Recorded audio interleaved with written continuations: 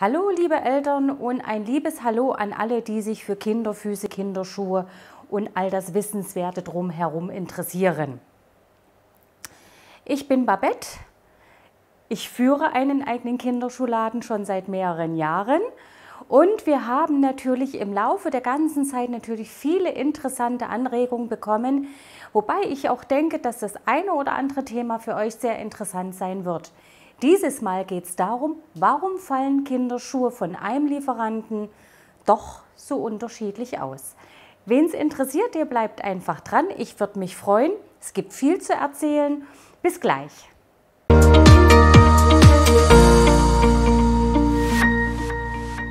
Hallo liebe Eltern und ein liebes Hallo an alle, die uns jetzt wieder zugeschaltet, angeschaltet, wie auch immer haben. Ein liebes Hallo an unsere Abonnenten, die schon wieder voller Wissbegierde jetzt sozusagen vor dem Monitor, vor dem Laptop oder wie auch immer sitzen, um sich sozusagen die neuesten interessanten und wissenswerten Dinge vom Schuhvideo oder generell über das Thema Kinderfüße, Kinderschuhe mal zu, zu Mute führen wollen. Wie ihr seht, heute wieder mal an anderer Stelle. Das heißt, die Location hat sich ein bisschen geändert. Ich bin also in der zweiten Filiale hier in Reutnitz-Stotteritz. Wir wollen natürlich auch hier wieder zeigen, wir haben tolle Schuhe, mit denen können wir genauso gut arbeiten wie mit denen in Golis und können natürlich auch hier zu dem Thema wirklich wunderbar agieren, erklären und demonstrieren. Es ist ja auch immer das, was wir im Rahmen unserer Verkaufsgespräche mit dem Kunden immer feststellen, dass viele Kunden immer geneigt sind, auch gerne mal ohne Kinder einzukaufen und dann gerne immer nur diesen Schuh oder ein Modell halt eine Nummer größer nehmen. Wir müssen allerdings immer mit darauf hinweisen, dass das immer nicht ganz so gut ist. Ganz einfach, weil Schuhe auch selbst eines Lieferanten recht unterschiedlich ausfallen. Warum ist das so? Also, ich gehe jetzt los und hole jetzt zum Beispiel einen Schuh von Buntgart. Mein Kind hat einen Schub gemacht. Ich bin der Meinung, die Größe passt nicht mehr. Ich möchte gerne den nächsten Schuh kaufen. Jetzt habe ich hier zwei Modelle rausgesucht von Buntgart, Laufanfängermodelle. Das eine schon für den etwas versierteren Leder, äh, Läufer und hier mal für den Laufanfänger auch wieder diese Kategorie Krabbel Erstlings Laufanfängerschuh. Beides ist die Größe 23 und wenn ich das jetzt mal so hier ganz nett und abdrett in die Kamera zeige, sieht man aber, dass ein Schuh alleine schon mal mindestens 4 mm kleiner ausfällt als die andere Größe, wobei beides die Größe 23 darstellen soll. Da kommt dann immer mein Spruch zutage, Schuh ist nicht gleich Schuh und Größe ist nicht gleich Größe. Das heißt also, auch wenn ich jetzt wie hier der Meinung bin als Mama, ich kaufe einen Schuh eine Nummer größer, dann kann es also sein, dass der gar nicht so groß ausfällt, wie ich jetzt als Mami meine. Und damit lasse ich mein Kind oder kaufe ich meinem Kind zu kurze Schuhe. Obwohl ich der Meinung bin, aufgrund dieser Größe, die da unten drauf steht, ich sage ja immer, es sind nur Zahlen, weil wenn es eine Größe wäre, wäre es irgendwo einheitlich. Aber das hat man eben halt auch mit dem WMS-System leider noch nicht geschafft, dass da wirklich, dass man als Kunde sicher sein kann, ich kaufe eine 23 und der fällt auch aus wie eine 23. Es ist nicht so. Hinzu kommt natürlich, dass es eine Vielzahl von Lieferanten, Hersteller und Produzenten von Schuhsohlen gibt. Die versuchen natürlich dann immer die Vorgaben des Herstellers zu erfüllen. Baut mir mal eine Sohle für diesen Leisten.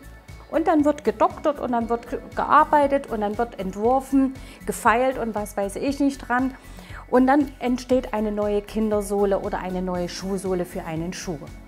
Dadurch, dass die Schuhe aber alle, wie gesagt, aus verschiedenen Firmen kommen, aus verschiedenen Lieferanten, die dann irgendwo zusammengebastelt werden, da spielen aber auch die eigenen oder die unterschiedlichen Erfordernisse eine Rolle.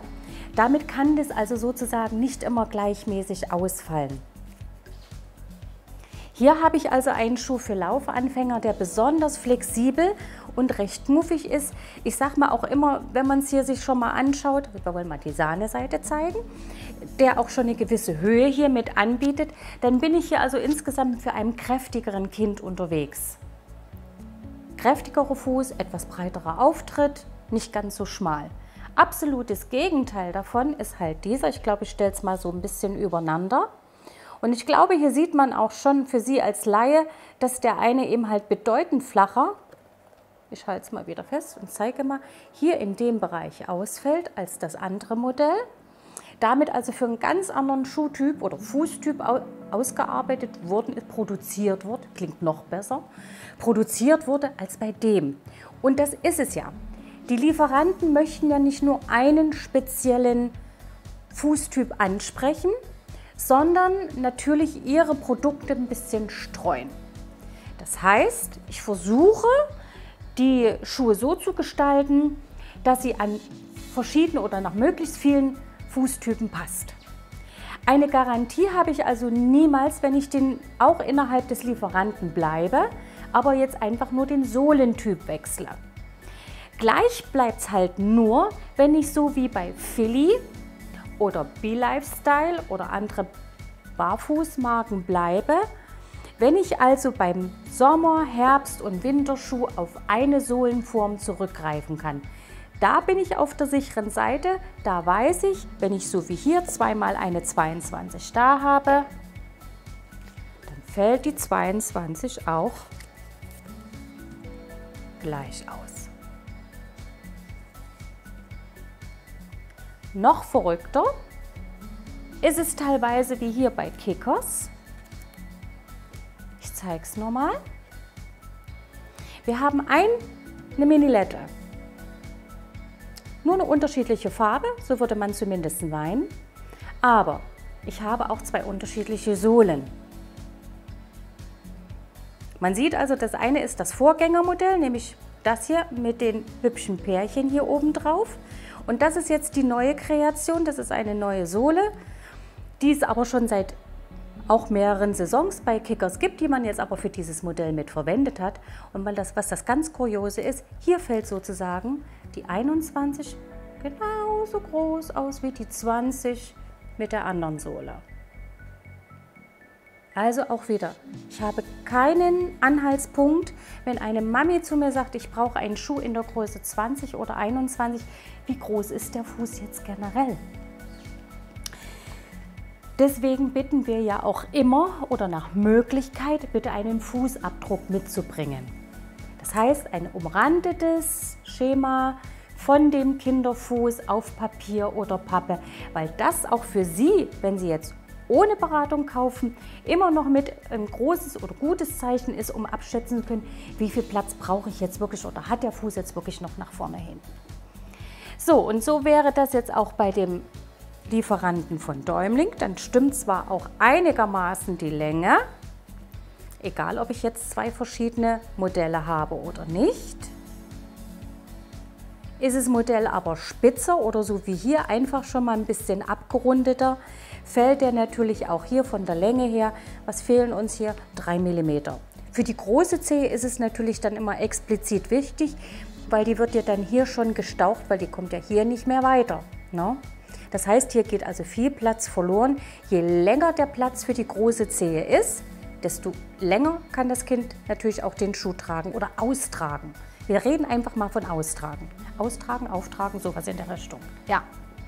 So, auch hier hätten wir nochmal dasselbe Modell oder den Vergleich von Frodo. Ich habe drei Artikel von Frodo mal rausgesucht. Ich halte die auch mal alle schick in die Kamera. Wie der Laie unschwer erkennen kann, es sind auch drei verschiedene Sohlen. Das eine ist die Barfußsohle, das eine, das mittlere ist eine Standardsohle, die auch mehr im mittleren bis schlanken Bereich angewendet wird. Und hier drüben haben wir den Kandidaten für die kleinen Knuffelfüße, etwas breit und rundlich. So, und auch hier muss man wieder sagen, jeder Schuh fällt anders aus. Wir machen das jetzt mal, dass wir den Knuffelfuß mal hier in die Mitte setzen. So, Hier seht ihr schon mal, ich glaube, man sieht es auch so, diese unterschiedlichen Millimeterangaben.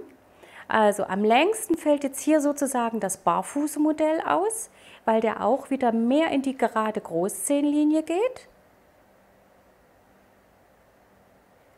Am geringsten ist sozusagen das breite Modell, was aber natürlich wieder hier von der Auftrittsbreite her gewinnt. Ihr seht, es guckt also vor. Halt. So, man sieht es also hier. Na? Hier habe ich mehr Auftrittsbreite. So, und das ist immer die große Schwierigkeit. Welchen Schuh suche ich jetzt für den Kunden raus? Oder wenn der Kunde jetzt ohne Kind da ist, wie, welche Fragen stelle ich alles? Ja?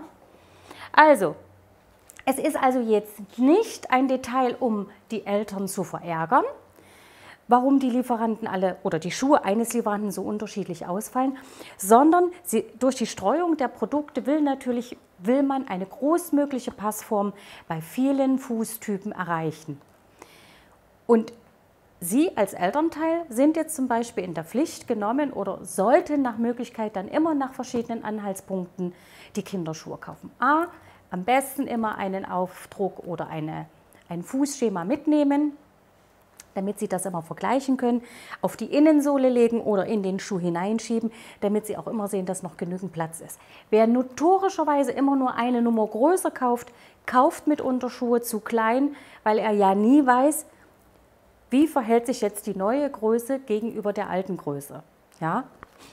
Also, nichts anderes bedeutet es, einfach nur aufmerksam beim Kinderschuhkauf sein, nicht irgendwas kaufen, vielleicht auch mal den Gang ins Fachgeschäft machen, weil bei so vielen Modellen, glauben Sie mir, der Laie kauft mitunter sehr verkehrt.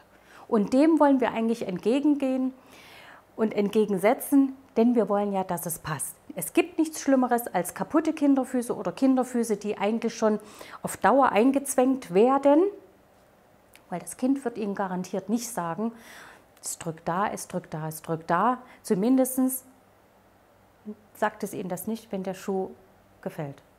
Wenn, weil gefallene Schuhe passen immer, egal, ob die eine Nummer, zwei Nummern oder wie auch immer zu klein sind. Ich hoffe doch, ich konnte euch wieder was Wissenswertes zeigen. Würde mich freuen, wenn ich dem einen oder anderen sogar auch weitergeholfen habe. Und wir stehen natürlich für Fragen und Anregungen gerne offen. Bis zum nächsten Mal. Bleibt schön neugierig.